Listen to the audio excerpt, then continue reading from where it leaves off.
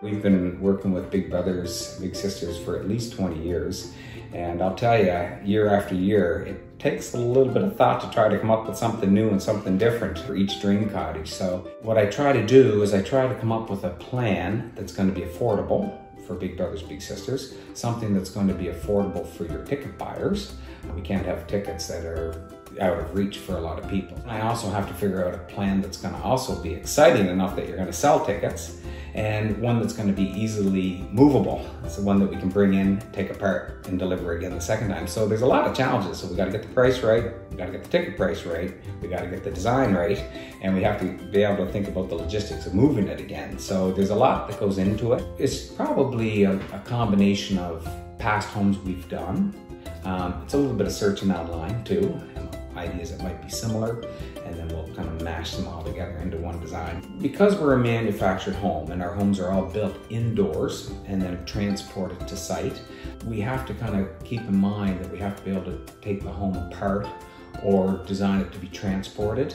We can really do just about anything, to be honest with you, but some homes have to have a little bit of tweaking this way or that way in order to make those that criteria fit, be able to get it apart, put it back together and ship it.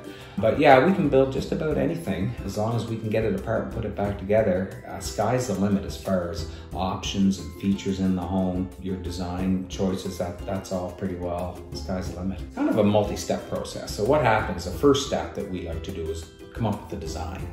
And then what we'll do is we'll do some budget numbers on that design to make sure that that's going to, we think it's going to fit the price point where, where we need to be.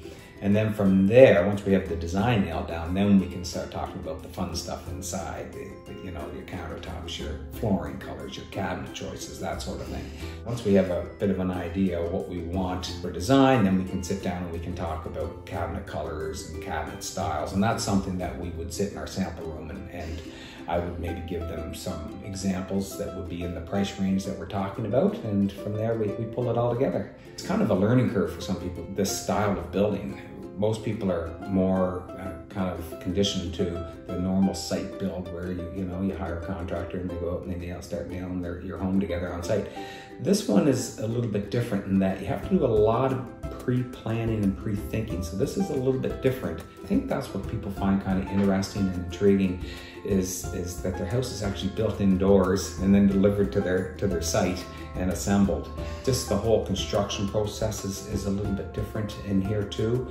I think what's a little bit interesting about this style of building too is where people will, you know, they'll come in here, they'll order their home, they'll pick all the colors and features, and then they go to the beach and then, you know, typically eight weeks or two months or three months later, their house arrives, which is not normally the way it would be built. Normally people would, uh, you know, watch, you know, the floor go on and then they'd watch the wall stand and then they'd watch, you know, just little pieces all, all along. So this is a little bit different, pretty interesting way of building for sure.